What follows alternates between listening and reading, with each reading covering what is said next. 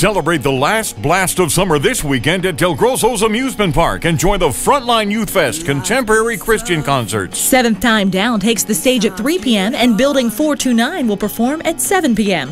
Thanks to these fine sponsors, Del Grosso Foods, Altoona Mirror, Boyer Refrigeration, Health South, Giant Eagle, and Hot 92, Hot 100, you can enjoy Christian music for free. Details at delgrossos.com.